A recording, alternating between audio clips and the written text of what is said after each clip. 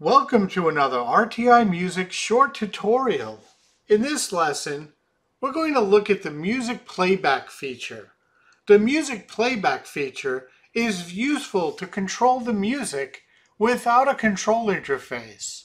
You can test speakers or ensure your equipment is properly communicating with the network. Let's select Manage, then select Music Playback on the bottom. Here you'll see the three players, MAC address, state of the player, the position of the current selection in the queue, and the song playing.